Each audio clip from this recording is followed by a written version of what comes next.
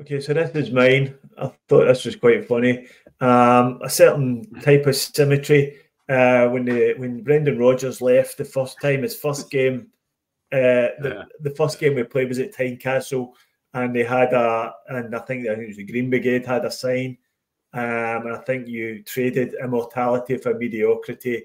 Never a sale, always a fraud. But this is um, just shows you the way how things can change very, very quickly. We're back at Tynecastle again and um, we're all in love with Brendan again, and it's Brendan's heard his calling in the night and all the rest of it. So you traded one job for another, never a big deal, and he was always welcome back.